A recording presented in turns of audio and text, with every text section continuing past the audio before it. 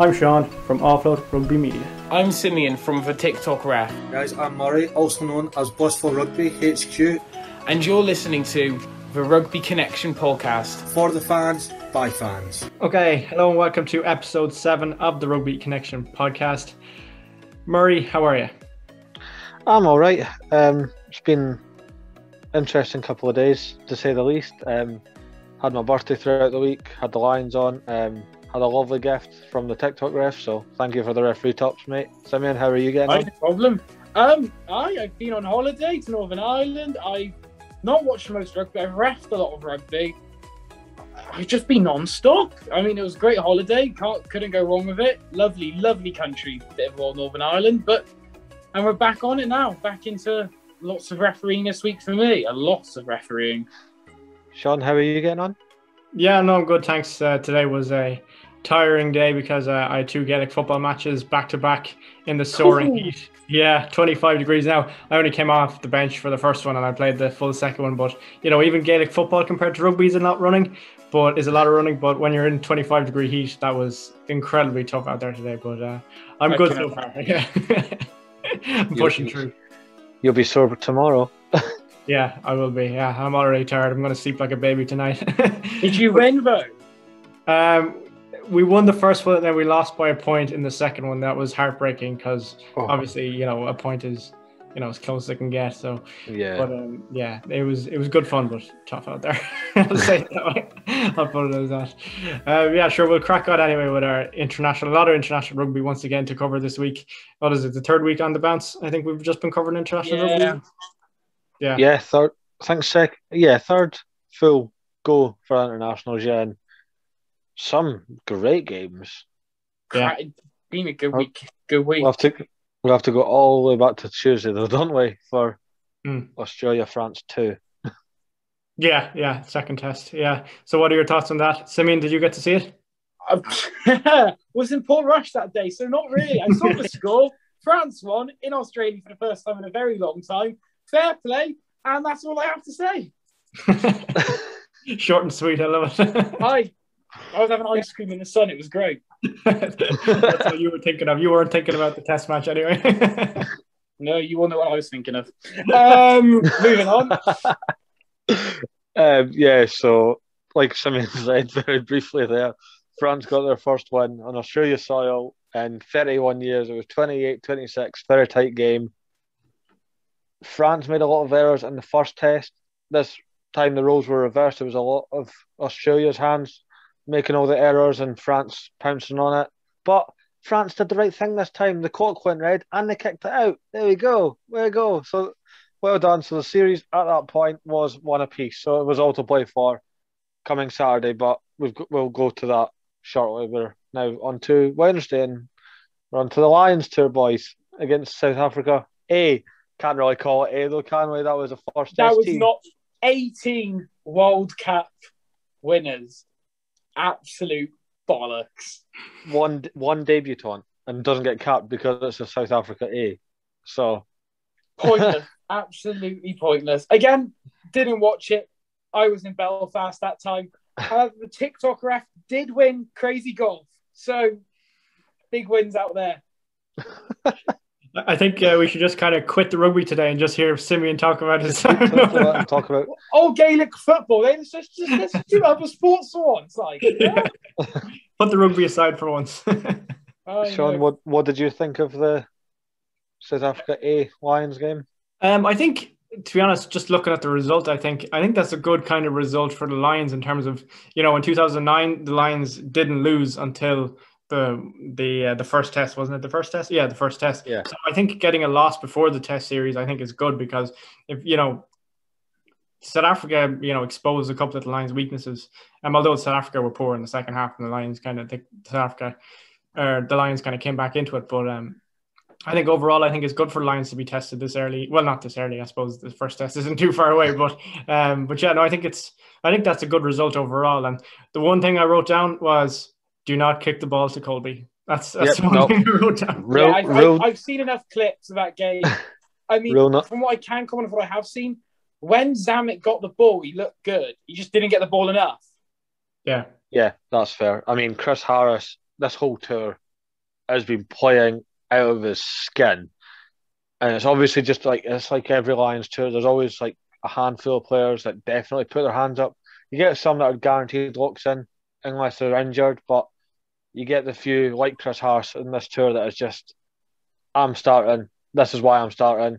And like people, like, I keep saying it. He's one of the best defensive centers in the world rugby, and people are arguing with me because he got stepped by Kolbe. Everyone gets stepped by Cheslin Kolbe.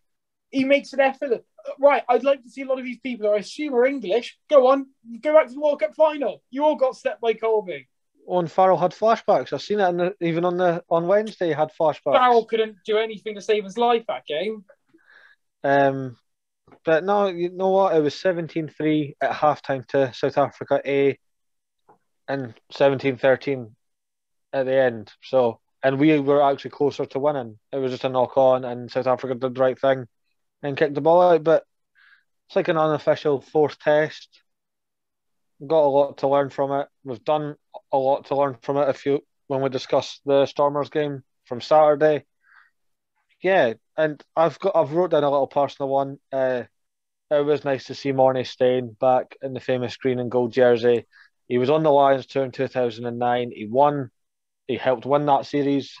He did everything in rugby, and just to see him back, controlling the pace, controlling the game so comfortably at the age of 37. Hats off to you. Unreal. Yeah, I think uh, Lions fans were probably getting very sad flashbacks when he was lining up for the first penalty. Yeah, so yeah, not not very uh, enjoyable man. But um, just, just kicks so smooth, just off the tee. It was unreal. He did miss a kick at the end, but everyone misses a kick Oh, for the most part. Human, But- isn't? But his kicks to touch and just they just seem so effortless, and I'm like, you're winding me up. Like, this is a masterclass. yeah, yeah. No, it's uh, great to see him back. He's, he's fairly uh, still going strong, as you said. But um, Absolutely. Yeah. So um, moving on on uh, was it Friday or Saturday? No, Saturday. It was Saturday. Tonga against Samoa. Um, Samoa got the 37-15 win to qualify for the 2023 Rugby World Cup. Um, Murray, what are your thoughts? Um, I actually missed this game, but I heard a lot of great things. And you know what? It was just like last week. Samoa doing what they had to do to get qualified, and I can't just stop feeling sorry for Tonga at the moment. Like they just cannot catch a break. It was a lot tighter this week. This week, so I'll give them praise for that. And again, it's obviously just like regular gameplay. Like you will get better through games and not just training. So it's always a positive. But you know what? All congratulations to Samoa. We will see you at France 2023. And yeah, they always play exciting rugby at the World Cups. Yeah, absolutely. Simeon, your thoughts on that? Yeah, and didn't really watch the game. I but you just love to see all the Pacific Islands in the World Cup. They all should just be there. You feel like every Tonga, Fiji, Samoa all should just be there. And I'm glad that we've got Fiji, we've got Samoa. Let's God forbid hope Tonga do get in. And it'd just be great to see them all back there. But nothing really common. I enjoy watching Samoa in the World Cup, so they're a good team to watch. Yeah, no, absolutely. Yeah. So for those who don't know, Samoa will be joining uh, Argentina, England, and Japan alongside America's two in Pool D. So you know, you never know. Samoa could pull up a bit So of a that would be That was a that'll tough be group. Canada or Argentina, uh, Uruguay probably, won't it? Uh, yeah, could be, or could, yeah, yeah. I'm not even sure to be honest, but yeah, That's Some- not a fun pool to be in. yeah. That's that's England, Argentina, Japan, and Samoa right now. Oh, Japan, Argentina's going to be a tasty game. That's Yeah. guaranteed. That'll be mm. great. That, But- yeah. Plenty of time to look away for that. yeah. Yeah, well, let's, think, let's get, get caught out in a few years, lads. yeah, but I think you know, of- as a sorry, I was just going to say, as us being neutral, I think wouldn't we just like to see like Japan and Argentina get to the quarterfinals and England get knocked out once again? Oh, 100%. Like, let's I mean, if Samoa get into quarters, let's just get England out. Yeah, anybody but England. On their current form, could well be them out. yeah, absolutely. Stranger things. To all our. English listeners, don't put angry comments in this comment section. We're all Celtic, and that's the end of it. We don't you like, don't you. like- You lost you- the football as well. Well done. No, I don't have an issue with it. I think that's that gets misleading. People think like because we root against England's sport, it's because we don't Yeah. like England. That's not true. I I'm like technically England. fully English, so Yeah, it doesn't even- but we don't like, talk about that. He says he's Welsh, but he sounds English, so there you go. Both my parents are English. It's a bit. Yeah. Um, yeah, but like people think instantly because you want like England to get put out with tournaments, regardless of rugby, football, bloody basketball, whatever. They think it's because we hate England as a country. It's not. It's just you don't want. They don't root for us. We don't root for them. That's how it goes, and that's all I'm saying. On exactly. We'll leave That's how it will always be. It's just how it is. Yeah. Too much uh, generational conflict there for that ever to change. pretty much. No conflict. um, Yeah. Um, No. so New then Zealand, after, yeah, so that's exactly it. New Zealand, Fiji. Murray, what do you think? Uh this I mean last week was so good. We were talking Fiji up big time from after last week, but they did not show up this week at all. New Zealand proper went for it. I know they got a convincing win last week, but they left it very late on to get that convincing win. They were not messing around this week. Sevu Reece getting a hat trick in 36 minutes. Unreal. Uh, just absolutely dominant. There was nothing really from the Fijians. Leone Nakarawa got given a yellow card, and he was captain that game. Um, what else have I got written? down? I've got more notes written down here. Sorry. Uh, Tokiahu uh, got a double in the second in the second half. Uh, ben Barrett came off the bench. He kind of struggled off the tee for the most part, but I mean, still got a convincing win. He's never Nico- he's never been amazing off the T Beauden, has he? He's never been. True. But um, yeah, he's never been. a Rieko, good Io- ten- yeah, Rieko Ioane, Will Jordan, Shannon Frizzell, all on the scoreboard as well, and just a convincing win and great end for the summer series for New Zealand, and yeah. hopefully to uh, go back on to what we me and Sean discussed last week, it would be nice to see Fiji and maybe Japan in the rugby championship going forward, because they play. I mean, when they've got regular tier one competition, you could tell that they're up for it, and it does Yeah. help. It helps them as well, and it will benefit them I in the think, long haul. I think but- it'd be great to see because they're both obviously. I know Japan is now officially a tier one nation, but Fiji's always nearly been a tier one nation. They'll, they'll beat any tier. Like you never go going into Fiji game. Oh, we're gonna smash it. You're always a bit like, uh, we could lose today. Yeah. It's Fiji, just don't know. So I think having them there, regular first team rugby, they'd get wins. They they would get wins. Yeah, Yeah. absolutely. Um, Simeon, I was just going to ask. I don't know if you saw, but there was a lot of controversy after the New Zealand Fiji game for Sevu Reece Murray. You might have seen the Sevu Reece his third try. Apparently, Fiji weren't set in time. It was something very similar to England against Wales back in the Six Nations. I don't know if you heard about that, Simeon. I, I haven't actually heard about or seen it, but it, it's a it's referee's perception that one. It is what the referee deems is getting set. If a referee said had a chat and he believes they've had a long enough chat, you crack on. Like if a ref says it, you go. Just it doesn't matter. There's nothing in law to say the referee can't say go on, crack on because it it ha- and no one so spoke about it, but it happened to Italy against Ireland. They had three seconds to set, and everyone was complaining about Yeah. England's ten. So it's like it's just referee perception. It's you don't need to spend ten minutes talking. You can just be set and go, do this, do this. Just talk along the line. It, it's something which does annoy me. Like I'll take the time. Like especially at the moment, if everyone get back into rugby at grassroots level, I will take the time to let people do it. But if I was refereeing that, like fair enough, you're an international team. You should know what you're doing. You don't need to talk about it for twenty minutes, do you? Simple Yeah. as that. But I've not seen it. Like it could be, it could have been, um, it could have been a bit dodgy, but I've not seen it. So from what you've said, it was just referee perception. Referee Yeah. cracks on. to um to avoid something like this in terms of it being not unfair, but like if you know if the referee asks to go and talk that for a captain to talk with the players for it to be more level, do you think that either the, the referee should have the clock off for a few seconds or should there be like a, a time limit, let's say 30 seconds to speak and then I, 30 seconds, you only need 10 seconds to get the thing across. I mean, recently, they've, I've just said, I like, I had a thing last week. I went, talk to your teams. I, I said to it, like, you went to like two players make sure, and then they spoke across the line because they knew what was happening. Like, you, they knew what was wrong. So it's a bit like, you just, you're playing international rugby, you know what you're doing wrong.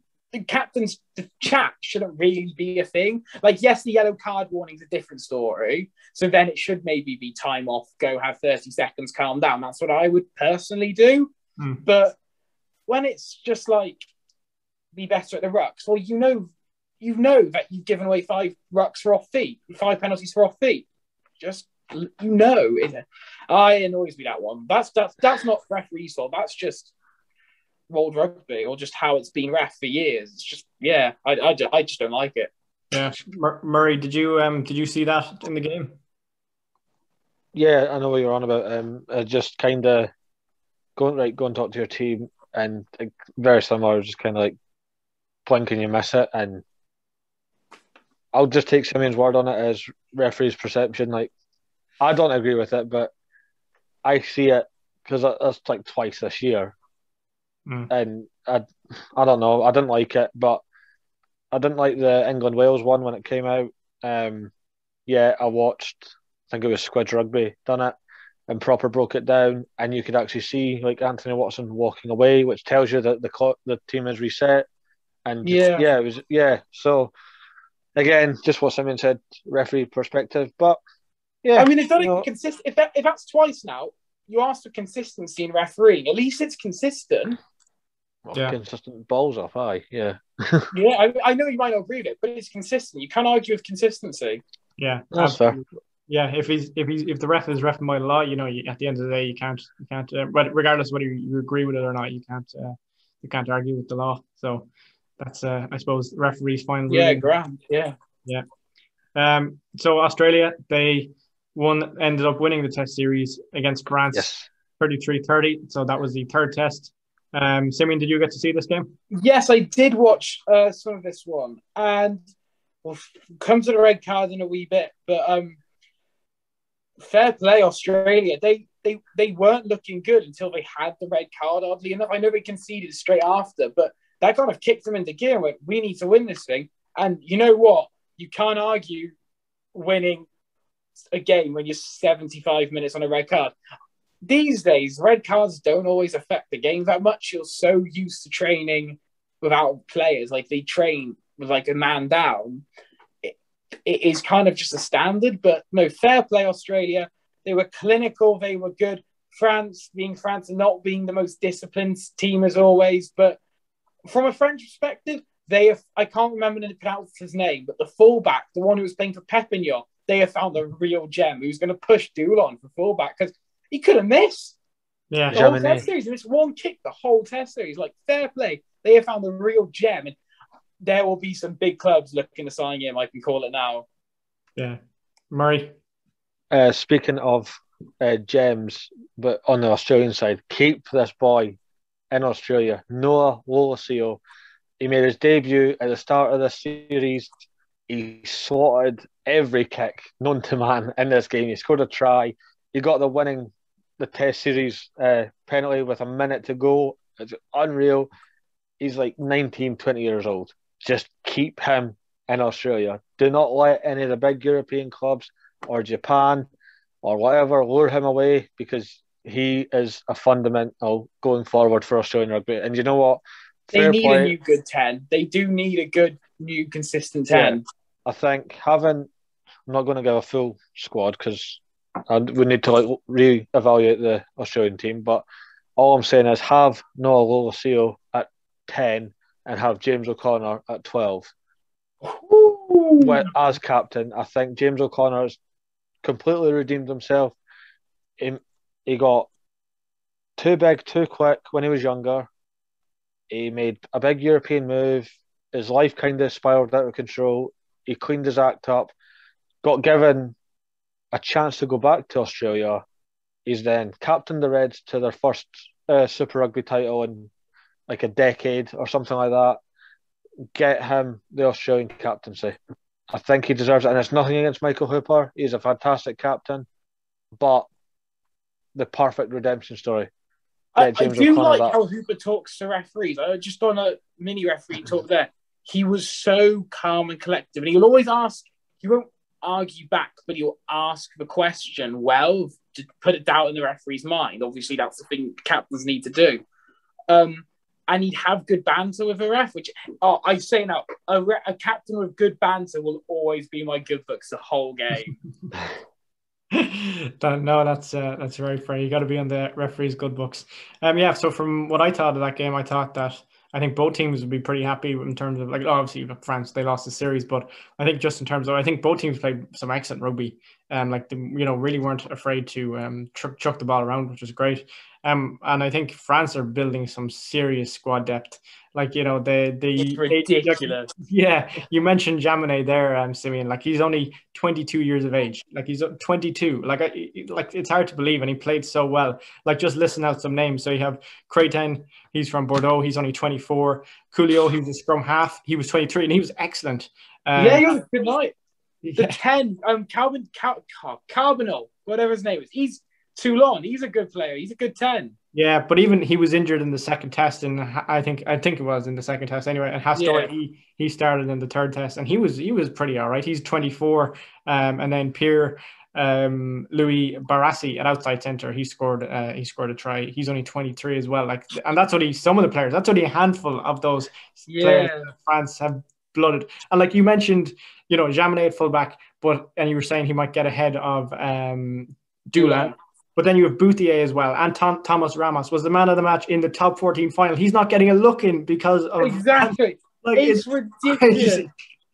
Oh man, I like France. You'd love to be French right now, wouldn't you? yeah, like you know, 2023 and beyond 2027, France are building serious from their academy structures upwards. They're building some serious players, like you know, so. Uh, and they're keeping and they're actually letting their French play. I've noticed a lot more in the top 14. They're playing their French players, hmm. which he didn't do for ages. And that was the issue with French rugby. But now yeah. they're really playing their players. Yeah, just, just, just, just as you said that, Simeon, I believe they've actually brought in some new rules. I don't know how recently, maybe in the last maybe five years, in terms of how many foreign players they can actually play or have on a team, kind of like they have in the MLR. But like, I think that's that's good for France, good for countries to keep hold of their players and give them top quality. 100%. Week out. Yeah, Murray, you were going to say something there. Yeah, just when you were on about how like crazy like these talented French players are and how young they are. Antoine Dupont and Romain Ntamack are 23 and 24 respectively as well. Like that's insane. Yeah. That's sick. That is sickening. And if you look at French sides historically, they bring out like 11, 12 very young players to start regularly for the te- uh, for the international team, and that's your squad for 10, 12 years. Yeah, providing providing injuries and all that, but you a good clump of that would be the forefront or the spine of the team for the next 10, 12 years. And so the fact that we've just rattled off about eight, there you go. That's unreal. Yeah. But nuts. Yeah, it's it's crazy. But speaking of a Six Nations team, we have Wales, Argentina. So I mean, you could look away now if you want. what game? I don't remember it. No. Um, Wales had a very interesting. I think, like with that, let's round off the summer series as a whole for Wales. Um, I mean, very briefly on the game, uh, you've got to remember this is an Argentina team, and the majority of the players are in the same who beat New Zealand. This was a yeah. good Argentina team. I think yeah. we're forgetting that. A lot of people were forgetting that. And it was a very, very young Wales team. There was nothing going past. I mean, you look at the lineup, there weren't many caps in there. I mean, fair play, like France, Wales have blooded some players, and there are, and we've seen some good players. Like in all three games, I know this week Argentina were just dominant; they were just holding it together. But the other, the previous two weeks, the Canada second test, it was first test against Argentina, even we've got I, we've really got some good players. Disappointed to never see Ioan Lloyd. I don't know if he was injured or Pivac decided, no, you're not playing. but um, you, you've got you found some gems and they're coming up. Tom Rogers, the um, winger, had a stormer of a game against Canada and he played pretty well yesterday. Um, you had Ben Carter, Will Rowlands, those second row. Wales' second row depth at the moment is insane. We'll come on to I'll come on to Adam Beard in a bit, but and the Terminator. But honestly, I think Wales are in a good place. We had a I think we needed I think we needed those Argentina games going into a very difficult awesome series.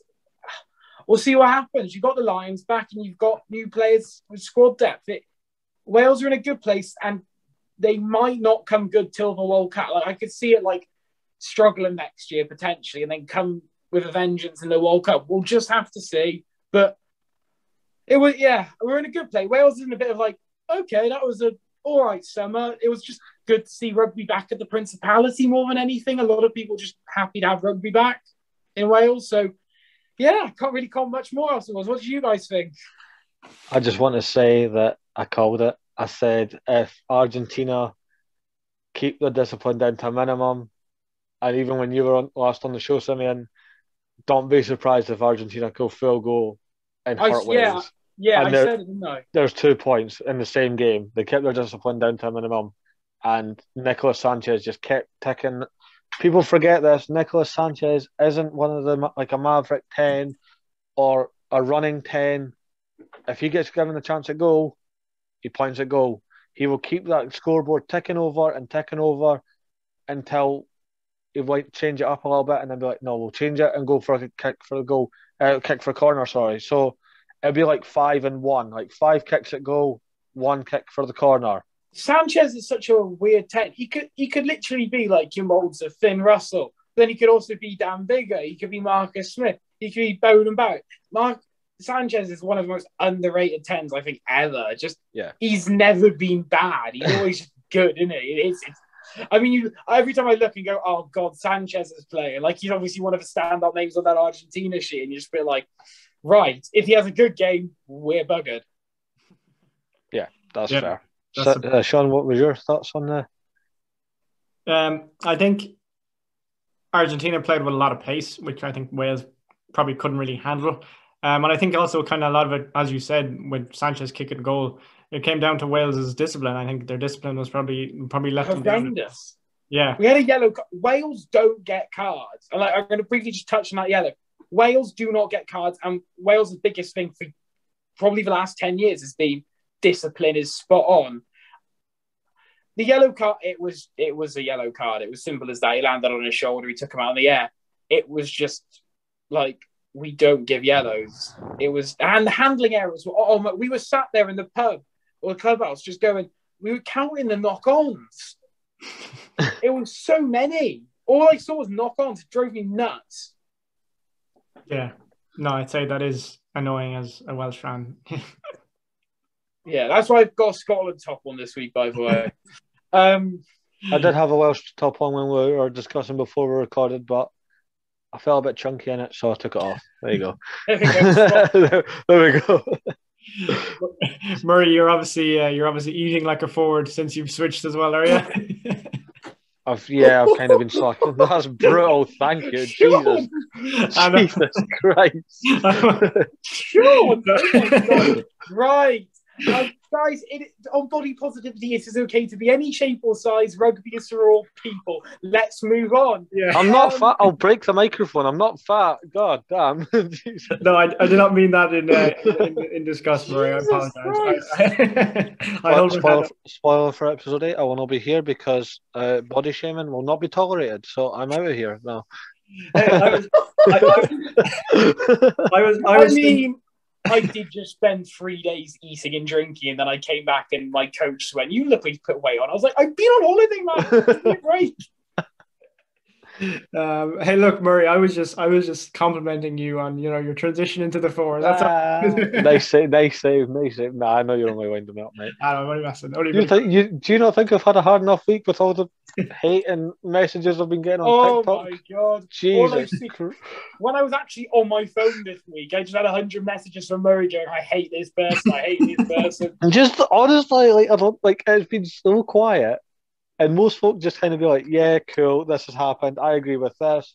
I would have this player over this player," and I just go, "Yeah, cool. It's just my opinion at the end of the day." And I will hammer this home. I, like we don't get paid for this. I don't get paid for TikTok. I, I just I voice my opinion. Piss off. um, like, oh, I don't get paid for this on either YouTube or Spotify or wherever else we are. I don't get paid for my TikTok. It's just my opinion. It means shit all at the end of the day. Oh, don't Um, worry. I mean, look at some of the pundits' opinions on the Lions squad this Just- week. I mean, Just some people. I think I got asked just before we go into our last game. Sorry, I'm kind of spiraling here, but nice. I got stuff. I got asked. I know, like uh, from our good friend Kyle. Kyle asked me, was my overrated 15. I was like, right, okay, what's, I've got nothing to lose. Let's just go for it. And I rattled them off, and most of them were like, yeah, cool. And three that have stood out for the most part that people are just not accepting or understand, like, they're just like not listening or just not accepting is Sam Underhill, um, Sexton, James Ryan, you ever won by chance? Uh, no, nobody batted an eyelid on that one. Oh, good. And uh, my favourite, my bay, my future, Oh, William Williams. oh Sam Warburton's starting him apparently. I'm not even surprised at that. But yeah, no, like I think my TikTok imploded because I said uh, Sam Underhill was overrated. And right, don't get me wrong, Sam Underhill is a fantastic player. Of course he is. He's an international rugby player. Like there he's at that certain level. But people were thinking it's because I've been like I've been picking on him because he's been injured for the most part of the season. I've thought Sam Underhill has been kind of overrated, or no, not overrated, overhyped more than anything. He was he was very good in the World Cup. It was two years ago. Very good. Yeah. He's not See what I really done much since the World Cup. That's But- the issue. Somebody asked me when they were getting really heated about it, um, can I name any back rower that I think is better than Sam Underhill? And I went, literally, Lions squad. lit- literally every back row on that Lions squad. And then Jamie Ritchie. and Jamie Ritchie, yeah, to name Yeah. a few. And this guy decided to not have any of that and tell me that Underhill is easily better than Conan. And I was like, okay, Conan's a bit questionable. I could, I could But take either or. the thing is, they're different positions. One's Yeah, an eight, one's a yeah. seven. Exactly. But and speaking of number eight, who's who Sam Underhill is apparently better than as well, is Taulupe Faletau. I'm like, on Yeah, what world? def- no, yeah, yeah, no, hundred percent, yeah, yeah, definitely, yeah. But yeah, so uh, I don't get angry. I don't give anyone hate or anything like that. I just kind of go, yeah, cool, that's your opinion. That was mine. I explain why each every single pick that I do, regarding if it's over, uh, overrated, underrated, combined fifteen, dream fifteen, whatever, whatever I do on TikTok, I explain each pick and what, like, and position and why. And this person decided to take a U turn on it. I don't know if you guys have seen it. I've definitely messages about it, and it was, oh, you've got a bit, uh, you're a bit salty because Scotland never got past a, qu- a quarter final. Like, well, you're wrong. They got to 1991 semi final. Should have been the 2015 semi final, but we're not discussing that. Yes, And uh, apparently, uh, uh, died quick because uh, Rugby Will, our friend Will, Rugby Yeah. Will six, I think it is. yeah, yeah, oh yeah, yeah, yeah, regular, so yeah, yeah. Yeah, yeah. So Will came on. I didn't ask him to. He just hopped on and went, mate, if you're going to like criticize somebody, look at all the facts first, and just left it at that. So I was like, cool, Boom. thank you, mate. Boom, And done. on that, the Lions versus the Stormers. Sean, You're well. yeah, just uh, reco- while I recover there, just uh, for after that. Um, no, look, I think it's a, a solid win for the Lions. I think um, probably not. Um, yeah, not tested to the same amount, obviously, as South Africa A. And actually, just while I remember, just I'm just going to mention it. South Africa A lost to the Bulls 17-14 yesterday. yeah. So basically, the world rankings now go: Benetton, the Bulls, South Africa, Lions. That those are the rugby world rankings. You you got that off the rugby guy. He made that joke. I didn't see that. I just came up Yeah. with that earlier. No, he, he that. made he made he broke the news. That's how I found out. It was like so the Bulls have beaten South Africa A, and South Africa A beat the Lions, but Treviso uh, Benetton beat the Bulls in the Pro 14 final. Does that mean Benetton is better than the Lions in South Africa and all that? Yes, Of course. they are. There it is. Of course, they are. Hundred percent. Yeah, but uh, all, all jokes aside, uh, great game. What a la- great last game before the test. The Definite handful of players putting their hands up for that test side. Luke Cowan-Dickie, man of the match performance, like nobody was stopping him. He was absolutely phenomenal. That was the best hooker performance on tour. Yeah, absolutely. I mean, even though they didn't score, I felt Duhan van der Merwe, absolute nuisance on the wing, just making insane amount of meters. Yeah, And- he- I thought he played decent. Like, And just the fact that it still takes two, three defenders to stop him or bring him down, unreal. And you know what? Let's all just talk about him. The golden boy. He got his first start. Marcus Smith. What a debut! What a way to get yourself into that Lions jersey. Unreal. can't say anything more than that. He didn't put a foot wrong, did he? Didn't didn't miss a kick. Didn't didn't put a foot Nope. wrong. Okay, still done. Um, can we talk about the um my absolute cult hero who proved everyone wrong on tour this tour so far though? Proceed. Adam Beard.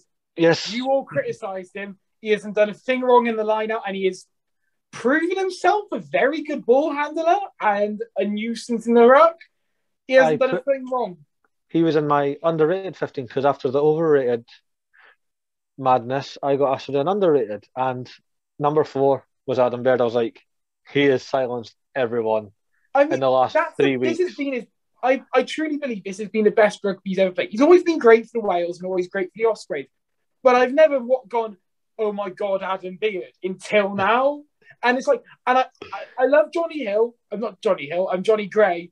I just don't. I just don't see Johnny Gray putting that massive because people just expected him to be there. He wouldn't have worked as hard as Adam Beard has to go and look at me. I deserve to be here, and he and he has proven everyone wrong. I hmm. think.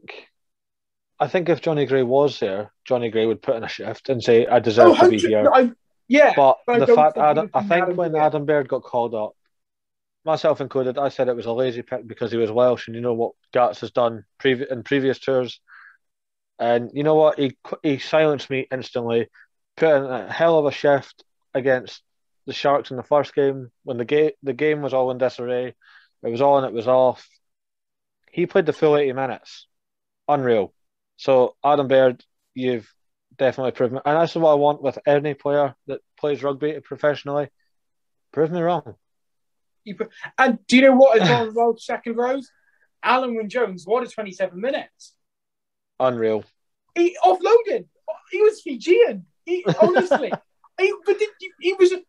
I mean, obviously, I was sat in Wales and he came on, and all we all said was, "We just want to play a cam for Alun Wyn Jones." All we wanted to do was just watch Alun Wyn Jones, and it was amazing. And we couldn't get our eyes off him. He was incredible for 27 minutes. He's really put his hand up for that started for the captaincy again.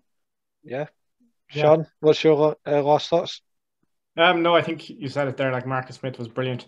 Um, I thought just from looking at that, Elliot Daly played a little bit like a playmaker, which is nice to have a kind of Yeah. different. I like it. Yeah. Yeah, I think he, and I think Daly kind of fits that mold because he, well, except for that blunder of a pass he made against South Africa. Hey, do you remember he, he caught the ball? They kind of like, Yeah, like kind of drop forward. Yeah. Oh yeah, I even I saw that one. That one, yeah. And the commentator said he, he didn't mean it. Of course, he didn't mean it. What do you well mean? done. I mean, the most unfortunate. I think we should have an award ceremony. So far, the most unfortunate commentary on tour was the Sharks game, and I don't know if you guys saw it, but the commentator just went, you know, Vincent Cox, the thir- uh, thirteen for the Mm, Sharks, Yeah, yeah. and the commentator he scored, and the commentator just went, and Cox in, and he just left it as that. oh God, you're so immature. It's unreal. yeah, um, I forgot what was going. oh, uh, just speaking on Alun Jones's amazing, unheard of return. Yeah. I did a little jokey TikTok earlier. Um, it was a Conor McGregor thing. Like you should have killed me when you got the chance. Now I'm going to take you and your effing team down. And I'm like, that's just perfect. Like, that fits so well. It so, was, yeah, honestly, it was great. Um, yeah, I think it was a great game. I just think a really enjoyable game. Zammit scored a great try from Marcus Smith. yeah, yes. Everyone in the clubhouse just Zammit's just so loved in Wales. It was just great. Can't go wrong. I met his parents. Nice. yeah. Yeah, I bumped into his parents at the Lions Japan game, which was weird, but they're nice enough people. Yeah. yeah, so just quickly, just in the Rugby Europe Championship, Portugal had a 49 31 victory over Russia, which is a pretty big win for a lot of people who, who wouldn't really Yeah. watch. Yeah, that's a big win for Portugal. Considering Russia won the World Cup. Fair play. Yeah, Yeah, that- like- that's a good one. Yeah, like and it was, well done, Portugal. it was it was in Russia as well. Like I didn't think that you know going you know playing at home in Portugal, you're like okay, you, they can put up an upset, but going to Russia and getting that big of a win, that's class for Portugal. So Portugal are now second in the rugby championship behind Georgia. Only a few weeks ago they were in third. They were behind um, Russia. So and that's very important in terms of this year's rugby champion or rugby Europe championship and next year. The points go for World Cup qualification. So currently Georgia are in pole position to qualify as Europe one and then the runner-up of the Rugby Europe Championship they qualify as Europe two for the World Cup, and then the third place finisher of the Rugby Europe Championship they go into a final qualifying tournament, which is all the teams Yeah. from around the world. So Yeah. um, that's a pretty big win for Portugal, and and I'm delighted for them. Like you know, because obviously They've been in World Cups before. They have been in a World Cup. yeah, 2007 was the last time I believe they were in the World Cup. I think. Well, let's hope we can see. Port. I'd love to see an odd team there. So let's hope to see them. Yeah, no, it'd be great for them. Um, and then just quickly moving on uh, for the into Major League Rugby. So New York had a 32 to 35 loss against Nola Gold this weekend. I was Oh, I was very dis but it actually turned out positive because this was a crucial game to decide. It was the last game of the regular season for both these teams. So whoever won, basically, it was kind of like it looked like okay, whoever is going to win qualifies for the semifinals because the other three spots were already um were already covered. So the Giltinis they're playing against uh, Utah in the uh, Western Conference semifinal, and then in the Eastern Conference, it was basically the winner of this match um, to play um, against Atlanta in the others in the Eastern semifinal. But it turn as it turns out, New York actually got two bonus points, which what they needed. So New York actually play Atlanta in the semifinals, and those semifinals are going to be on next week. So yeah, it's New York. Yeah, it's New York against There we Atlanta. go. Go on, New York. yeah, uh, Ben Foden actually he got a try in the weekend, and hey. yeah, um, and then one fella who, who's been a breakout star for New York this year is Benjamin Benasso. He's uh, number seven. He's I really hadn't heard of him to be honest. He kind of came out of nowhere. He's been brilliant all season for Rooney. So yeah, New York against Atlanta next week, and then the Giltinis against um, Utah Warriors in the other semifinals. So those should be two pretty decent games. So yeah, There Exciting. go. Happy days. Also, just before we quickly go back to Lions, um, if you want to learn any more about MLR, please check out an, our interview with Scott Ferreira off the Rugby Ran, also known as the Big Guy. I knew nothing. I'll I put my hands up in that interview. I knew nothing about MLR.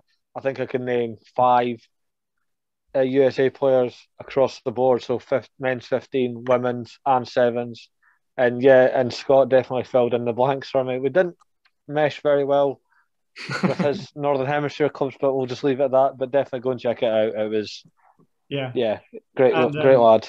Just on that game, Simeon, you might be interested to hear was that JP Doyle was actually the referee of the New York game, and there was three yellow cards and a red card in that game. And Oh, the- I might have a, I might have a watch of that game. To be honest, I, I love JP Doyle. I, to be fair to him, he- he just got snubbed off by the RFU, and he's hmm. having a fantastic time out in America, and he's really leading the way to teaching American referees who obviously aren't in the international scene. And I think he's doing a fantastic job out there. And MRL love him. MRL, but the Americans love a Brit. They love an English Brit, don't they? So there we go. he's Have, Irish. have, have JP Doyle. He's. Irish. He's Irish. JP Doyle's English. no, he's not. He's Irish. He, it was the RFU. Yeah, yeah, but he is actually Irish. He moved over. Is there. it? I didn't know that. Where's he from? Where in Ireland is from? I'll forgive you there, Simeon. I'll forgive you just this once. I'll forgive you, okay? So, I did not know he was. I, I always just thought he was just English. So fair enough. I'm going to search you later. right, lads, we're in countdown mode now. We are now, Mm.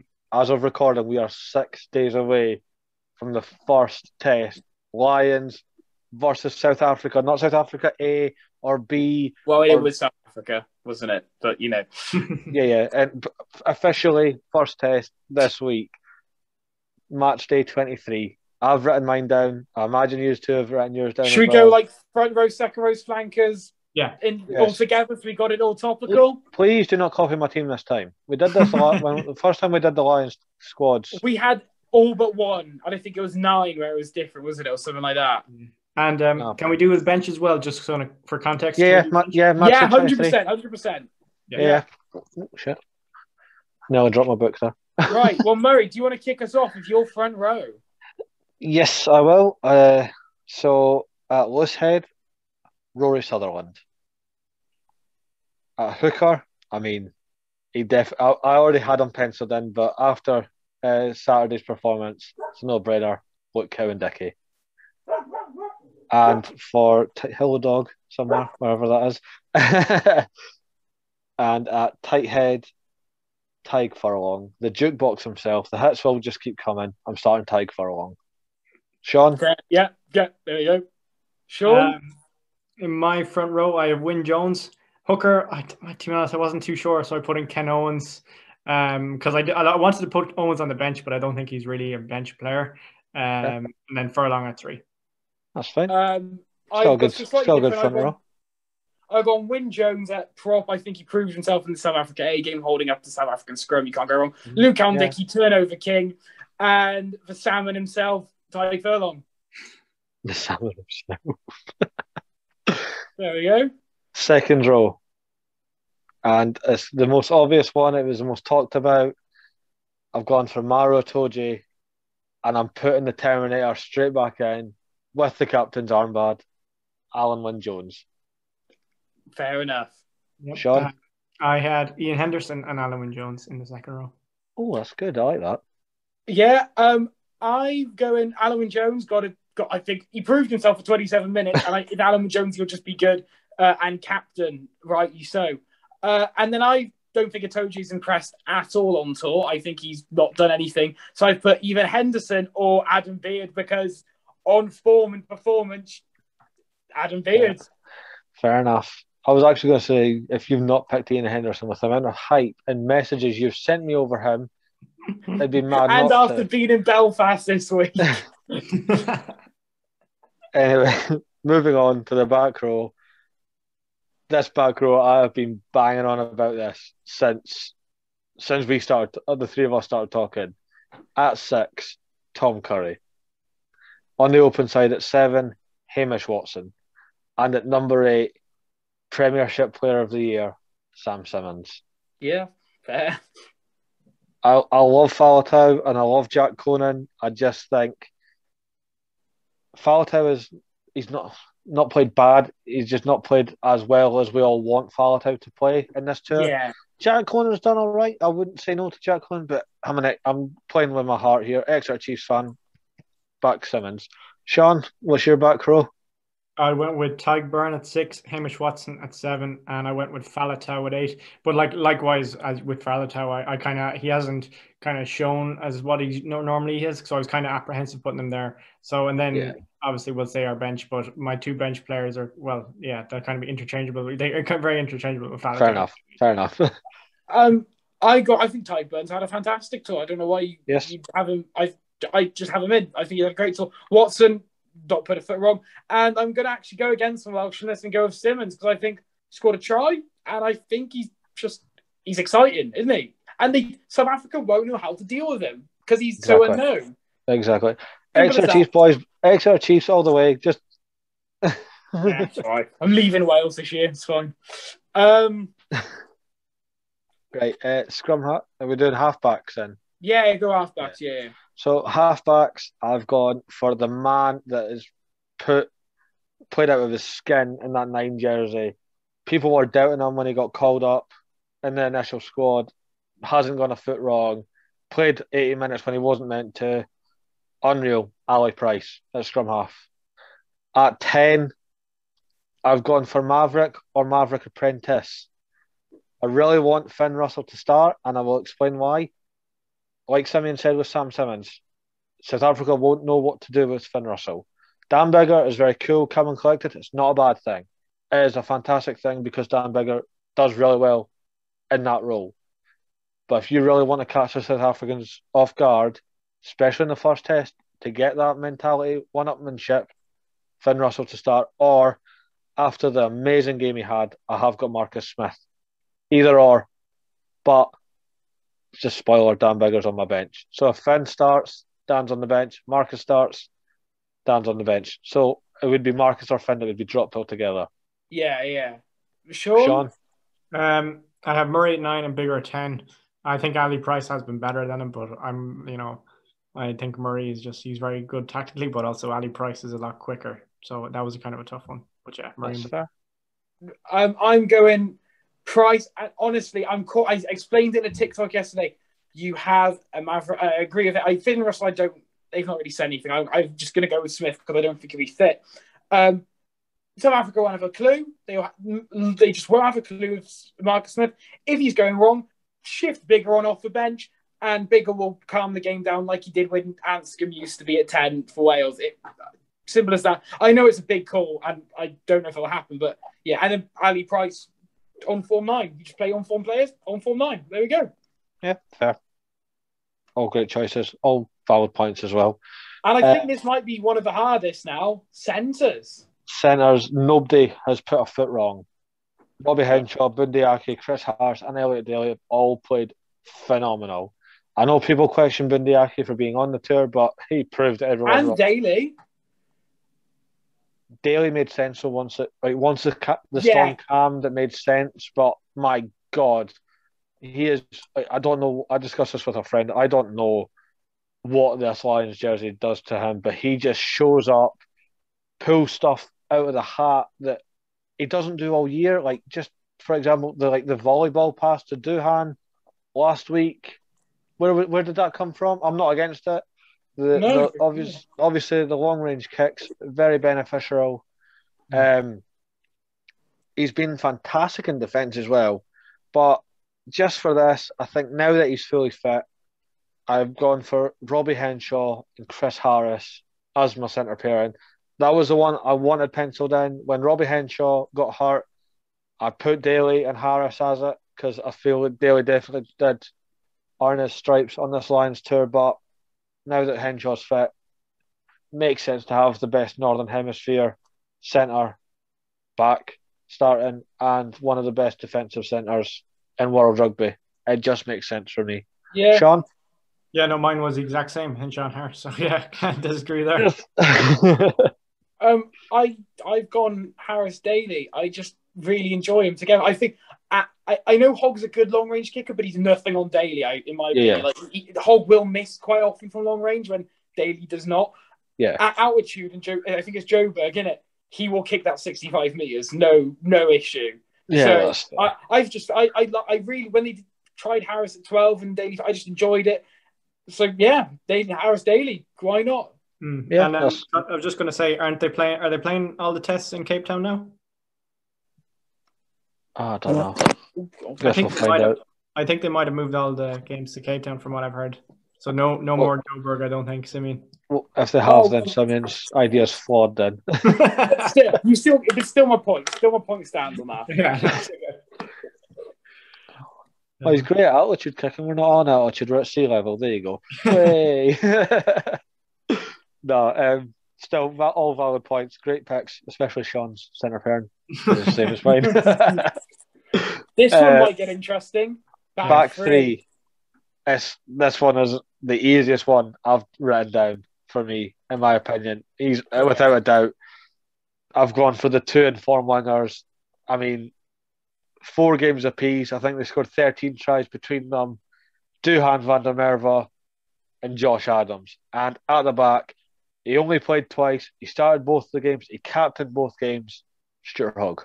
Unreal. Yeah. Sean? Yeah, no, mine is actually the exact same. I actually wasn't.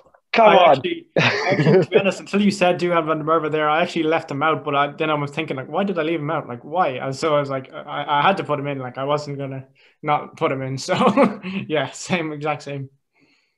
I cannot pick between Zammit and Duhan. Zammit has, I know Duhan scored maybe, he only scored two more tries, but Zammit hasn't put a foot wrong either. Zammit has played well and he's just shown his pace.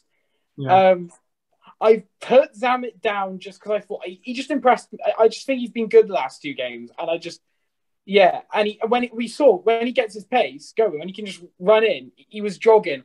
Uh, obviously, Yeah. Josh Adams has to start and Hogg, but Doom Zammit, I wouldn't be disappointed either way. But I just think Yeah. I'd put Zammit down just 'cause I think he'll get on. It works well.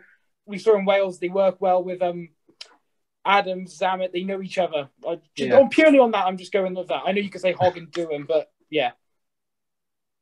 Yeah, that's fair. I mean, all valid points. I mean, I just think, like so- like you said, Simeon, Duhan starts fantastic. Louis Rees-Zammit starts amazing. It- Mm. It's not. I'm not. Even if Anthony Watson was to start, I wouldn't be disappointed. Anthony Watson's an incredible Played player. well, hasn't he? So yeah, just not Liam Williams. I don't think he will. He failed, even he failed, a, wing. I- H- he failed a HIA anyway, so it doesn't matter. So boo-hoo. Oh, there we go. He's done. I hope he is actually all right. I'm not being. I Yeah, yeah, yeah. genuinely hope he is okay, but no. So Murray, what about your bench? Yeah, so I'm just going to rattle off the whole bench for you. Uh, 16, Ken Owens. It was a toss up between him and Cowan-Dickie. One had to go on the bench. Ken Owens was on the bench. Uh, 17, Wyn Jones. Again, he's played phenomenal. Hasn't done a foot wrong. I just I want Royce on to start, and yeah, same for them. Uh, 18, Kyle Sinckler. He's played phenomenal with the chance he's been given. Um, 19, I've gone for Tadhg Beirne or Adam Beard. That's a toss up. Um, I've put Connor. I've got Conor Murray on the bench. I've got Dan Biggar on the bench. Uh, Louis Rees-Zammit and Anthony Watson. There There we go. I've kind of done like a four-four split there, but it's not great. But I think Tadhg Beirne has enough in the tank to cover both. And if needed, Tom Curry could easily slot in at number eight if needed as well. So there we go. Yeah, fair Um, enough. Sean, Sean, what's yours? Yep. So I had uh, Luke Cowan-Dickie, um, Rory Yep. Sutherland, Kyle Sinckler, Maro Itoje, either Jack Conan or Sam Simmonds, and then Ali Price, Finn Russell, and then Elliot Daly. Yep. Yeah, yeah. I'm going. I'm going six two. I would normally never say six two split's a good idea, but I just think we need. I just think the forward. It's South Africa. You just need forwards. Um. So I go. Uh, Sutherland, Ken, uh, Furlong. Again, Adam Beard or Henderson, one or the other. Yeah. Um. And then on the other one, Toje or Lawes. When Lawes has been in, he's played well. So Toje Lawes. Um, Toje hasn't impressed me, Toje, but he's good, isn't he? On like on reputation. Um, then you go I, Curry on the VD. I'm a bit conflicted. I mean, the VD when he's had the chance, he's played well, and I, he can cover so many positions. I'm going Curry VD. Um, nine Gareth Davies because I Conor Murray's just annoyed me. He's done nothing right this tour, and Dan Biggar. And I think if Biggar had to, he could cover fullback or centre. I just if he had to, I just think yeah. Or because you've got Daly on the team as well, you can cover so Oh. many positions. I just think Dan Biggar. There you go. I'm a, I miscounted. I never did a four-four spot. I did a five-three split. It's Yeah. Ken Owens, Wyn Jones, Kyle Sinckler, Adam Beard, Tigburn, Conor Murray, Dan Biggar, Anthony Watson. There we go. But or Elliot Daly. I was right. Yeah, yeah. All right, fair enough. Um, yeah, so we've each named our test 23s for the Lions. So, Simeon, I believe you've a fair bit to talk about in terms of refereeing decisions over the past couple Well, because someone was away last week, they missed three red cards to talk about. So that's um, um, we don't have images for you tonight, so I'm just going to try and describe them as best as I can. We'll start off with the previous week. So we're going back a week just because I thought there were, we needed to, we need to cover them. Lions v Sharks. Um, Sharks player went on the floor, stuck his elbow right into the Lions player's head. Red card. Do I need Yep. to explain more? He pleaded guilty. No one batted an eyelid. It was at force. Can't do that. It's rugby. Opinion, Even I anyone? just- Even I described that better. I'm not even a ref. Yeah, I know. Yeah. Opinions? Agree? Yeah. Yeah, totally. Can't throw, can't throw elbows. Don't care who it is. Yeah. Simple. Straight ahead. Yeah. Um, Wales, Argentina. Um, so the, I think it was a fullback, high tackle Wales player, shoulder to head. There was a bit of a question of was he lowered? He was lowered a bit, but the referee made a really, really good point, and it's made it's stuck with my, me all week on a few of these things. He had a clear line of sight. He had so much time to know he could have gone low, and he decided to go high enough that he made shoulder to head contact, and therefore that mitigation of lowering wasn't enough because he had the clear line of sight. Obviously, shoulder to head, red card, and not enough mitigation was the correct decision. Was really well spoken through. Uh, lads, yeah, fair. Yeah. Just when you, when you said it there, he had all the time in the world to like almost back out of it, kind of like the Zander Fagerson incident with Wales and the Six Nations. Yeah, totally agree. Yeah, I agree. There we go. Somebody- Dogs are on form, so I think Lukey agrees. Um, then we had right now. This one obviously was controversial. We had Wales Ireland. Obviously, Sean, you were there, and I remember seeing. You posted a TikTok at the time, going you weren't really sure from what the angles you saw. Um, I was sat at home, uh, watching on my tablet. To me, I get what people were saying. It didn't look harsh. It did look a bit harsh, but there wasn't enough lowering and he still made shoulder to head, and it was there was never an attempt to go low. And this is what we spoke. We've spoken about this ever since we started the podcast. Yep. Don't make an attempt to go low. You hit the shoulder to head, you're getting red. Yep, Simple as that. Um, obviously the force wasn't ridiculously high, but it was still force in it. You just if you went a bit lower, it was one angle looked like shoulder to shoulder. Excuse the pun of Ireland. And, Hey. um, at least not some monster. I've been playing to Sean all week. Um, um, but no, I, it was. But from the angles I saw really well, it was direct head contact. So simple as that. Red cards. Sean, Yep. your opinion on that? Because obviously you did see it live.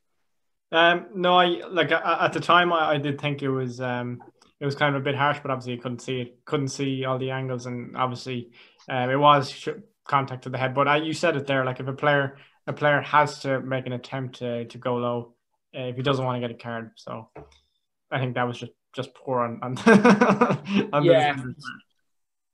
It was what it was. Um, and uh, so obviously, I think what we're going into is probably the most controversial of this week's was France, Arg- um, Australia.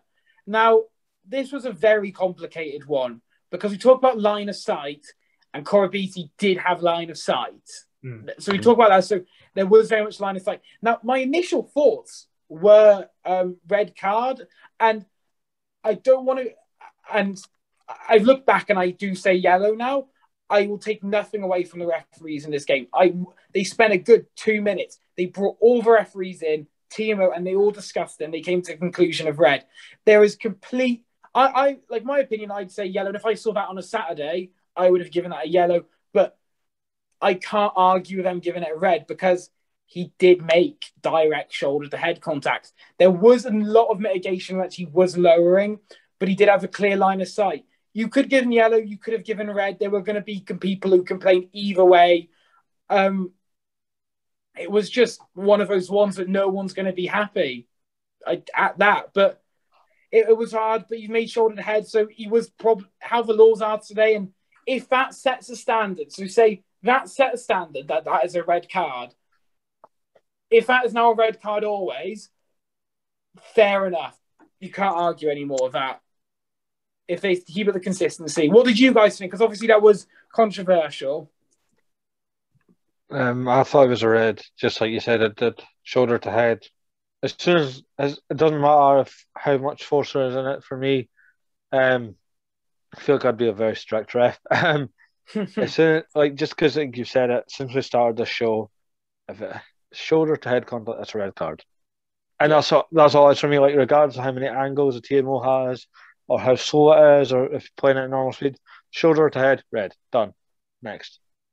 Sean? Yeah. Um, no, actually, I didn't. I wasn't seeing the game live, so kind of just like the USA one, I didn't see all the angles. But just as you were saying it there, the reason on the highlights, obviously they're made by the Australian TV company, so they're only going to show the ones that make it not Oh look my like god. a red card. But I think I when I from what I saw, it looked like a yellow card to me. To be honest, it looked like just like a good hit. It just looked like he was he was going in. Well, obviously, it would probably a yellow card, but like I didn't think it was a red. Like you know, it just looked like a good hit. You can even see on his back, his hand is literally wrapped around his nearly his waist, nearly the way he went. Yeah, it, it, that that's why that's why I went to yellow. And the French play, like he was holding his face. I watched the thing of the contact, like frame by frame, where the contact was. It was the contact zone was. Um, he hit the chin. It was neck chin, the direct contact, and shoulder at the same time. So his whole just thing went like there. Yeah. Um, so obviously, if that was higher up, it'd easily be a red. But it's just because of that lowering, which was a bit like, and the French player was low. So uh, that's why I did go yellow. But again, we've said it there. One of you said red, one of you said yellow. I've kind of gone it's either way. Yeah. There we go. That's how that went. That's how that card went, wasn't it? Yeah. Um, and the last one I want to bring up, and this is nothing against Jaco Peyper. From what I heard, he did a great job in the South African versus South sorry South African A quotation marks versus the Lions game. Um, there were just two things the referee team missed. Yes, I have, it, it is harder to miss things for that level, but things are missed. Um, and we had two things. We had um, shoulder boy himself, Owen Farrell, having his arm tucked. A player just ran straight into, well, yeah, if he didn't make a tackle at all. He didn't wrap his arms. He made direct shoulder to head contact. Uh, you probably, you guys probably seen. I did put a TikTok on about it. Um, I just saw like a kind of as like a still like an image of it. It looked like a kind of like he was going high anyway. So that's, that's yeah, it, he was up. Farrell did not dip. He was just stood up, like Yeah. his shoulder like that, and the guy just went into his. We didn't even go into it. He just read. It was just in my head. That was just a red card, and it was classic Farrell. Um, and then Faf Clerk did the same. There was kind of someone came around the ruck, and he just dropped his shoulder and went for someone in the head, which again was a red card offence. So basically, you've got shoulder boy 2.0 because you remember a couple of weeks ago.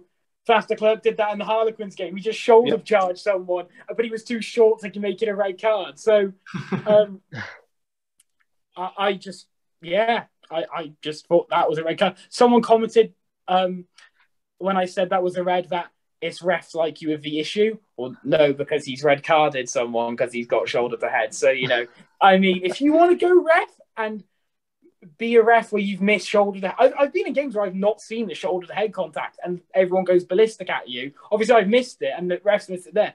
If you want to be in that position, you crack on. But yeah, Murray, your thoughts on that? Those interesting ones. Um, more the Faf one is more definitely a red. Like how that, like the fact that it was slowed down. Yeah, okay, Oh, so my, my question is because I didn't watch the game. Was that TMO'd? yeah. Oh, okay. Um, right. They stopped the game. There there might have been foul play. They zoomed it in, slowed it down, and Josh Navidi comes round the rock, like you said, and Faf de Klerk just goes, yeah, like, yeah. And Okay. it, slow, it slows it down. You see it zoomed in, shoulders, like it almost like squishes Josh Navidi's face. Like it was that this that was that much of a slow motion hit. And Jaco Peyper gave it a yellow. So I'm like, are you feeling okay? That's definitely a red. I mean, he might have had his reasons. There might be mitigation. It's how the team talks. So Oh, I'm yeah. not going to criticise it, African maybe. Ooh. I'm not commenting. Um, I'm not, I'm not, I'm not commenting because it, it, it's a hard one. I'm not commenting on with that. Um, but yeah, I just think that was it. On my last, what I've noticed picked up recently with my games, um, players are starting to go high again. I've given a lot of yellow cards for, uh, luckily for them, mitigated high tackles, which could have been reds if they weren't lower, um, if they were a little bit higher. So, pla grassroots players, pl- anyone who's listening, get your tackles down because they're starting to creep up again. I don't know why, but and players are having a go at me for giving penalties and yellows for this. I'm like, it's how the game is refed these days. You've just got to learn. But I'm just saying, it might for any and the referees as well. It's going to be a difficult few months obviously going back into the proper season now, and we're going to have to. Referees will hopefully, as a whole, be consistent and hold it down these high tackle rules. But we've just got to make sure after a while players will get used to it and hopefully will respond to it a lot better. But just keep your tackles down, people. Simple as that. Al- I can already feel I'm going to get a ref. It's going to be like, not by the book. That's fine. I'm going to get a dodge. I'm going to like, like a loose arm, and I'm going to get yellow carded or red. And yeah, you're, I'm not going to take it well. hey, look, No. And it'll probably be me. if it's if, if if if I've deserved it, I've always I think I've always been like this. If I've deserved if I've done something wrong, then yeah, I'll I own up to it. But if I like if it's something daft, then off you go. But no. Yeah. Do we have any que- We didn't actually have a question last week. We forgot to put one out, so we apologize. We apologize to our our fans and I mean, we're on a bit of a longer one this week because I've just come and talked shit because I've missed a lot. um, it, I get paid to talk shit, lads, for refereeing. It's how the job rolls. It's the gr- it's in the Yeah, job description. enough. Yeah, that- Um, Right, so I don't have a name written down who asked the question, but the, we've kind of got a three in one question. So Okay. it's who. So we'll go one by one. I'll, I'll say them, say them one by one so we can do it so we don't get overthink it all. So firstly, who is the most overrated player in current world rugby? So not ever. So he might have been good before, but on current form, who is the most overrated player? Sean, you want to crack on with that one? Yeah, that's that's a tough one. I, I don't like labeling players overrated because at the end of the day, you know, pl- players are kind of just trying their hardest, and at the end of the day, it's their job. So it's more not- overhyped. I think overhyped's a better description of it. Yeah, yeah, I think that's probably fair because overrated. I, I feel like it kind of seems very harsh on them, and I don't want to be Yeah. harsh on player. Um, well, you see, I would say Owen Farrell, but he's not really hyped at all, you know. So like, I don't see he, how he could be overhyped. I don't know. I, I find that that's a very tricky one. Um, I'm not sure. I'm just going to say Owen Farrell. Like I think he, well, like, like he just hasn't been in good form. I'll, I'll put it that way. You know, he just hasn't been at his best. So that's all I'm going to say. To be fair, I have seen people saying you should start the test series. I was a bit like, did you watch him against South Africa? Because I mean, I didn't, but I've watched enough clips of it. Yeah. Um, Murray, No, we're not asking me any more overrated Right, because apart from Liam Williams, who is your no, opinion the I most? wasn't. I wasn't going to say that. I just Oh. I've I've gave out a fifteen. Who do you think is your most overrated or overhyped player currently? I mean, there's a whole fifteen on my TikTok. You can easily go and check that out. and Um, I abuse think Murray some more if you like. and just yeah, just abuse me more if you if you really want to go at it. Um, no, but I'm not going to say Liam Williams. I'm not going to be boring. I'm not going to say Sam Underhill because holy shit, it's not worth the trouble. Mako Vunipola for me is the most overrated player right now. He's he played all right in his last outing. He came off. I thought, I thought, in fairness too, I thought he had a good game Saturday. I thought he He yeah, he came off the bench strong against the Stormers, but that's it. That's all he's done in like four years. True. And I, I genuinely feel he is just holding a place and most morely the England team. Like Ben Albano's not even getting looked at, and Mako Vunipola is just sitting there. You're doing nothing. But yeah, that's enough on that. Um, yeah, Mako Vunipola. Don't give me hate for it. um, for me and everyone who knows me loves me to say it. On current form, James Ryan. Knew it. you, yeah, you already that one's correct. I don't raise him at all at the moment. I even think when he was doing good, he wasn't really doing good. It was no one in Leinster or Ireland was doing bad, and he just happened to be young, and everyone was like, "Oh, look, he's young. He's won everything."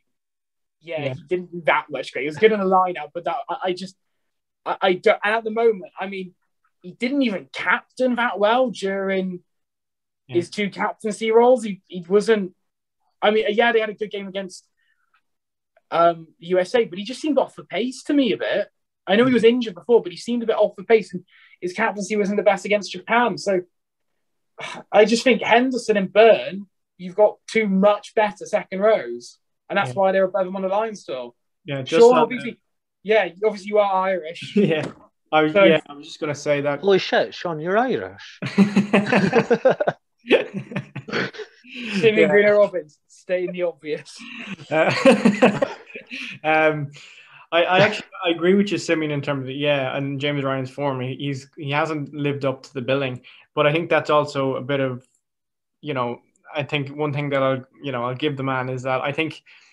There, well, just like every other player, but I think he, he's had a lot of pressure being put on him by the media and by Yeah, fans. no, that that does make sense. Yeah, because like when he came onto the scene, he was pretty good as a young fella. You know, when he burst first burst onto the scene, um, and a lot of people were saying, "Oh, yeah, next Paul O'Connell, you know, next Starling captain, you know, whatever." And then his first was it twenty three odd games, he went undefeated between Leinster and Ireland caps or something. Yeah. Like you know, But he they didn't just- lose. Leinster and Ireland just didn't lose. That was Yeah, the thing. wasn't it? pretty Neither have lost games. So Yeah, so I think in that respect, I think he's a lot of people. He has been hyped up, just probably that bit too much, you know. And he's probably I don't know whether that's affecting him personally or not, but um, it's a pity for him because like he, I think he still does have a bright career ahead of him. But yeah, currently I agree with you, Simeon. He's definitely off the pace as what's expected. yeah, all right. So yeah, there we go. Good answers from us. Uh, next one, most or over hated player. So someone who receives too much hate in current world rugby. Liam Williams from me personally. yeah, yeah, yeah, No, yeah, that's um, true. No, um, in world rugby as a whole, Yeah, crack on. Owen Farrell. I, I know I know he's arrogant and all that and very smug, but I think what caught me off guard was when I went to the Lions versus Japan game and they're going through the squad announcement right before kickoff, and everybody, way, Ali Price, way, so on and so forth. And it's 22, Owen Farrell, and I went, way, because he's on the team I'm supporting for the game. And majority of Murrayfield booed him out of that stadium, and I'm like, he's on our team. Like, I don't get this. Yeah. Like, if you want to boo, if you want to boo him at a Scotland England game, Ireland England, Wales England, France England, whatever, Exeter versus Saracens, what do you, you want to boost uh, Owen Farrell like that? Go for it. Don't do it. Like, British Irish Lions, it's four teams become one. That's the whole thing. Yeah, If if it was a tight game with Japan or any game that Owen Farrell's been playing in this tour, and he gets a last minute drop goal, who's going to boo him? Nobody. no, exactly. Exactly. It's a load of shit. Sorry, pardon my French. Yeah, but yeah. Sean.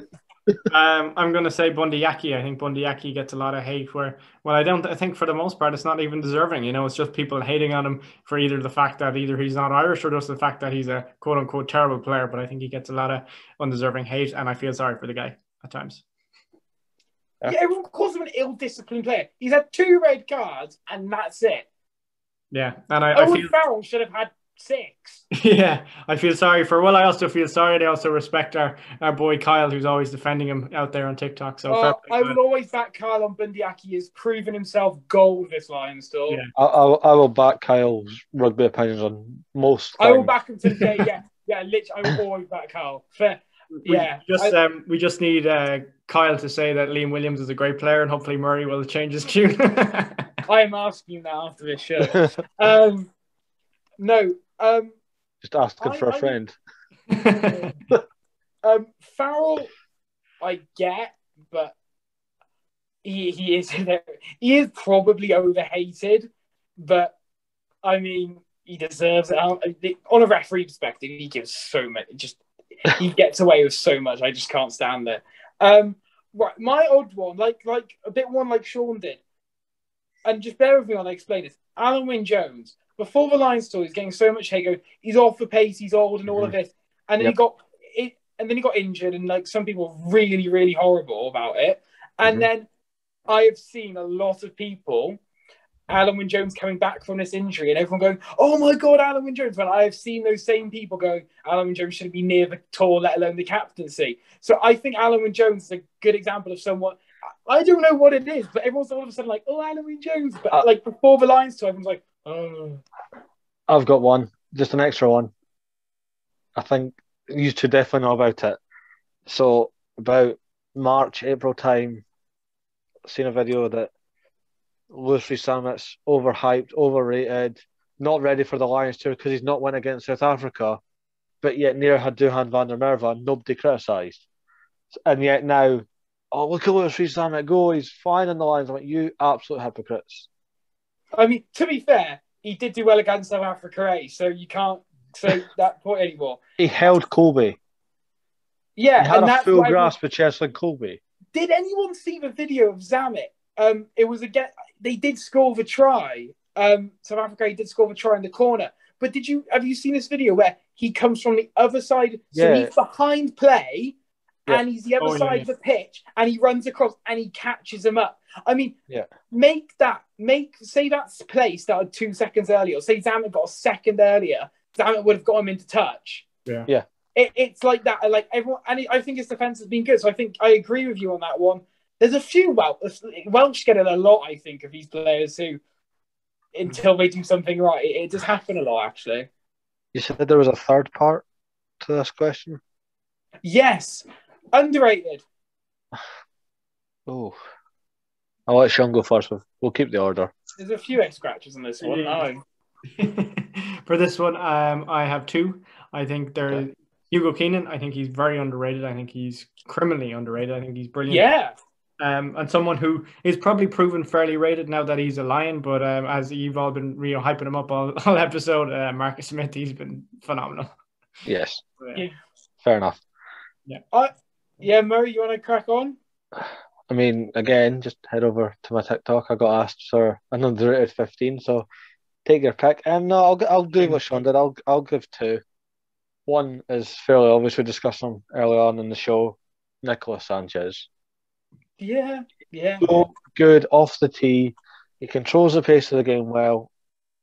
Yeah, and yet nobody talks about him. So Yeah. there we go. Another one for me, I think, probably because he's slacked off recently. Um, I don't think people appreciate just how quick Darcy Graham actually is. Oh yeah, I like Darcy Graham. Mm. Yeah, yeah, yeah. I'll give an honourable mention actually because that's just more of just a key factor. Yeah. Karl Tu'inukuafe.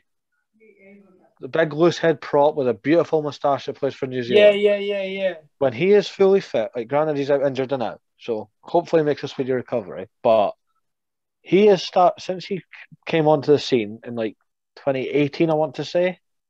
No, 2019, sorry, just after the World Cup. Yeah. So his first season, yeah, first season 2019 with the Blues.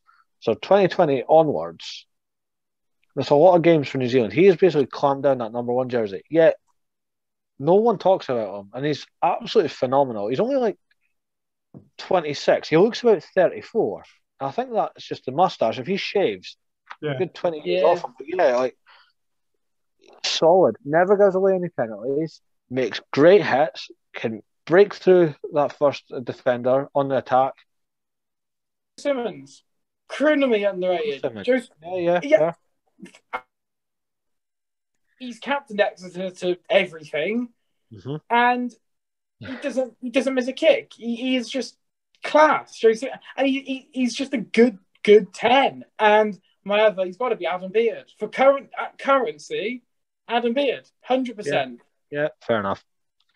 I think I we've all. can't- I'm not, I'm not commenting anymore. I've talked about Adam Beard too much this evening. oh, again, Sure. honourable mention because I hyped this guy up when he got into the Ireland squad, and Sean might back me up on this one. Ulster's um, Mike Lowry. Yeah. He's I think he's, everyone's good. like, oh, he's too small. Shane Williams was too small. He was great. I, I'd love to see Mike Lowry get a run out for Ireland. Yeah, he's been class in fairness. He can play ten as well. He's he can play all over the park. He's he's a nice guy, great great player. Like Yeah, yeah. yeah, um, Yeah, absolutely. Yeah, I think um, we've probably we've covered a lot. I think we're we're uh, over an hour and twenty minutes anyway. I think already probably even longer. Uh, we've covered a lot of rugby today, haven't we, lads? Any final thoughts or? I mean, next Yes. week, sadly, I'm not as much rugby, but we do have a first test. So I think it'll be a big analysis of that one next week. Yeah, that would be nice. Yeah, yeah, we've got nothing. else, it, really. Big I think Lions that is special. it. Yeah, big so nothing special referee next happens week. in that, we are just talking first test next week. Yeah, cool. And, And, then and Major League semis. Yes, thank you. Yeah. Appreciate that, Simeon. Um, yeah, when do, when does the rugby championship? No, that was that'll start after the Lions. Yeah, and then we've got obviously- Olympics. We do have sevens in the Olympics coming up, which I think we should That'll cover. be, that'll be fun. Yeah, cool. I'm up for that. Yeah. Ireland Yeah, for gold. so Ireland for gold. GB. Sorry. GB, GB. We'll see. Let's be honest. Let's let's be honest. Fiji's getting it. Ooh, I, to be honest, I kind of want Fiji to get it just because I like seeing them win it. Yeah. Um, Well, this has been a fun one, absolutely, and just thank you to all the support again for keeping this show going. Thank you for the great question. I know it was a three-part question, but yeah, great I question. enjoyed that question. That was grand. Thank you. Um, we'll be on it. Three of us again next week. Nobody's got planned holidays or, or anything. nope. Do it the week after, but yeah. That's fine. Um, yeah, just not much else to say. We've we've got guests lined up. We're discussing guests all the time. We're very busy.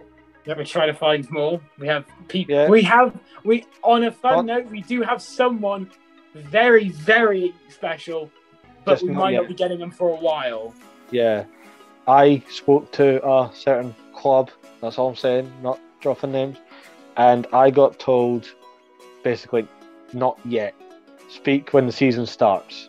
Which And that's again, what I've basically been told as well. I so, spoke to I spoke to another club that said wait till the players come back in August, so that's a little bit earlier. So yeah, it's it's looking promising.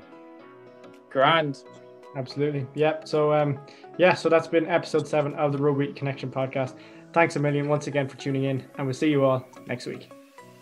See you later. Try.